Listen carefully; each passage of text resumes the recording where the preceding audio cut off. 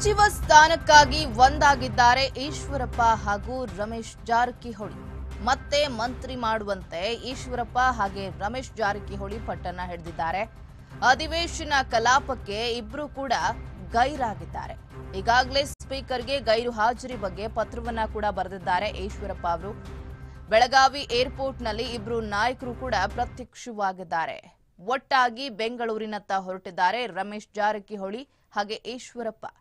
ಬಿಜೆಪಿಗೆ ತಲೆನೋವಾಗದೆ. ಇಬ್ಬರು ಅಸಮಾಧಾನಿತರ ಒಗ್ಗಟ್ಟು. ಬೆಳಗಾವಿಗೆ ಬಂದು ದಿಢೀರ್ ಅಂತ ಹೇಳಿ ಬೆಂಗಳೂರಿಗೆ ವಾಪಸ್ ಆಗ್ತಿರೋದು ಯಾಕೆ ಹಾಗಿದ್ರೆ? ನನಗೆ ಕ್ಲೀನ್ ಚಿಟ್ ಸಿಕ್ಕಿದೆ, ಮಂತ್ರಿ ಮಾಡಿ ಅಂತ ಹೇಳಿ ಈಶ್ವರಪ್ಪ ಪಟ್ಟಣ ಹಿಡಿದು ಕೂತಿದ್ದಾರೆ. ಪ್ರಧಾನಿ ಮೋದಿ ಅಥವಾ ಅಮಿತ್ ಶಾ ಜೊತೆ ಚರ್ಚೆ ಮಾಡಿಲ್ಲ. ಸಿಎಂ ಜೊತೆ ಮಾತನಾಡಿ ತಗೋತೀವಿ ಅಂತ ಹೇಳಿ ಹೇಳಿದ್ರು. ಯಾಕೆ ತಗೊಂಡಿಲ್ಲ ಅಂತ ಹೇಳಿ ಕಿಡಿಕಾರಿದ್ದಾರೆ ಈಶ್ವರಪ್ಪ.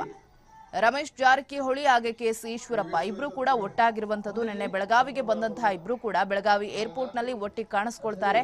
ಬೆಂಗಳೂರಿನತ್ತ ಹೊರಡ್ತಾರೆ ಇಬ್ರು ಕೂಡ. ಸದ್ಯ ಈ ಒಂದು ವಿಷಯ ಸರ್ಕಾರಕ್ಕೂ ತಲೆನೋವಾಗಿರುವಂತದ್ದು ಸಿಎಂಗೂ ಕೂಡ ತಲೆನೋವಾಗಿದೆ. ಯಾಕಂತ ಹೇಳಿದ್ರೆ ಒಂದ್ ಕಡೆ ಈಶ್ವರಪ್ಪ, ನನಗೆ ಕ್ಲೀನ್ ಚಿಟ್ ಸಿಕ್ಕ ಮೇಲೂ ಕೂಡ ಯಾಕೆ ಮಂತ್ರಿ ಮಾಡ್ತಿಲ್ಲ? ನಾನು ವರಿಷ್ಠರ ಜೊತೆ ಇನ್ನು ಮಾತನಾಡಿಲ್ಲ. ಆದ್ರೆ ಸಿಎಂ ಜೊತೆ ಮಾತನಾಡಿದಾಗ ಮತ್ತೆ ಸಚಿವ ಸ್ಥಾನವನ್ನ ನೀಡೋದಾಗಿ ಹೇಳಿದ್ರು. ಆದ್ರೆ ಇದುವರೆಗೂ ಸಚಿವ ಸ್ಥಾನ ಸಿಕ್ಕಿಲ್ಲ ಅಂತ. ನಾನು ಕೂಡ ನನ್ನ ಮೇಲೆ ಆಪಾದನೆ ಬಂದಂಥ ಸಂದರ್ಭದಲ್ಲಿ ನಾನೇ ಸ್ವತಃ ರಾಜೀನಾಮೆ ಕೊಡಬೇಕು ಅನ್ನೋಂಥ ತೀರ್ಮಾನ ತಗೊಂಡು ಕೇಂದ್ರ ನಾಯಕರ ಹತ್ರ ಮಾತಾಡಿದಾಗ ಬೇಡ ಅಂದರು ಅವರು. ರಾಜೀನಾಮೆ ಕೊಡೋದು ಬೇಡ ಅಂದರು. ಆಮೇಲೆ ನಾನು ಇದನ್ನು ಪ್ರಸ್ತಾಪನೂ ಮಾಡಿದೆ. ನೋಡಿ ಹಿಂಗಿದೆ. ಎಫ್ ಐ ಆರ್ ಬಂದಂಥ ಸಂದರ್ಭದಲ್ಲಿ ನಾವು ರಾಜೀನಾಮೆ ಕೊಡೋದು ತಪ್ಪಾತು. ಜಾರ್ಜ್ ಬಗ್ಗೆ ನಾನು ಒತ್ತಾಯ ಮಾಡಿದ್ದೆ. ನೈತಿಕತೆ ಪ್ರಶ್ನೆ ಬರುತ್ತೆ. ನಾನು ರಾಜೀನಾಮೆ ಕೊಡಲೇಬೇಕಾಗತ್ತೆ. ಯೋಚನೆ ಮಾಡಿ ನಾನು ತಿಳಿಸಿ ಅಂದರೆ ಒಪ್ಪಿಗೆ ಕೊಟ್ಟರು ರಾಜೀನಾಮೆ ಕೊಟ್ಟೆ. ತನಿಖೆನೂ ಆಯಿತು. ತನಿಖೆನಲ್ಲಿ ತುಂಬ ಸ್ಪಷ್ಟವಾಗಿ ನನ್ನ ಕ್ಲೀನ್ ಚಿಟ್ಟು ಸಿಕ್ತು. ನಾನು ನಿರಪರಾಧಿ ಅಂತ ಆಯಿತು. ನಿರಪರಾಧಿ ಅಂತ ಆಗಿ ಈಗಾಗಲೇ ನಾಲ್ಕು ತಿಂಗಳ ಮೇಲೆ ಕಳೀತು. ಆದರೆ ಯಾಕೆ ಇಲ್ಲಿ ತನಕ ಸಚಿವ ಸಂಪುಟ ಸೇರಿಸ್ಕೊಂಡಿಲ್ಲ? ಇದು ನನಗೆ ಗೊತ್ತಿಲ್ಲ. ನನಗೆ ಸಚಿವ ಸಂಪುಟದ ಬಗ್ಗೆ ಮಂತ್ರಿ ಆಗಲೇಬೇಕು ಅನ್ನೋಂಥ ಪ್ರಶ್ನೆ ಇಲ್ಲ. ಯಾಕೆಂದರೆ ಅನೇಕ ಡಿಪಾರ್ಟ್ಮೆಂಟಲ್ಲಿ ನಾನು ಕೆಲಸ ಮಾಡಿದ್ದೀನಿ ನಾನು. ಆದರೆ ಇದು ಬೇರೆ ರೂಪದ ಒಂದು ಸ್ಥಿತಿ. ಇಂಥ ಸ್ಥಿತಿನಲ್ಲಿ ಸಚಿವ ಸಂಪುಟವನ್ನು ಏನು ಮೂರ್ನಾಲ್ಕು ತಿಂಗಳು, ಮೂರ್ನಾಲ್ಕು ತಿಂಗಳಲ್ಲಿ ಎಷ್ಟು ಮಾಡಬೇಕು, ಬಿಡಬೇಕು ಪ್ರಶ್ನೆ ಬೇರೆ. ಆದರೆ ಆಪಾದನೆಯಿಂದ ಕ್ಲೀನ್ ಚಿಟ್ ಸಿಕ್ಕ ಮೇಲೂ ಕೂಡ ಯಾಕೆ ತಗೊಂಡಿಲ್ಲ ಅನ್ನೋದು ಇಡೀ ರಾಜ್ಯದಲ್ಲಿರೋದು ಪ್ರಶ್ನೆ ನನಗೆ. ಯಾಕೆ ತಗೊಂಡಿಲ್ಲ ಯಾಕೆ ತಗೊಂಡಿಲ್ಲ? ನಿಮ್ಗೆ ಯಾಕೆ ಅನ್ಯಾಯ ಮಾಡ್ತಿದ್ದಾರೆ?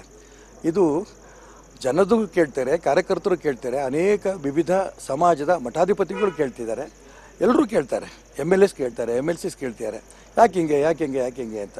ನನ್ನ ಹತ್ರದ ಉತ್ತರ ಇಲ್ಲ. ಅದಕ್ಕೋಸ್ಕರ ಒಂದು ರೀತಿಯ ಸೌಮ್ಯತೆಯ ಪ್ರತಿಭಟನೆ. ಈ ರೂಪದಲ್ಲಿ ನಾನು ಈಗ ಒಂದು ಪತ್ರವನ್ನು ಮಾನ್ಯ ಸಭಾಧ್ಯಕ್ಷರಿಗೆ ಕೊಟ್ಟಿದ್ದೀನಿ. ನಾನು ಯಾವುದೇ ಕಾರಣಕ್ಕೂ ಈ ಒಂದು ಸೆಷನ್ನಿಗೆ ಬರಲ್ಲ, ಅನುಮತಿ ಕೊಡಬೇಕು ಅಂತ.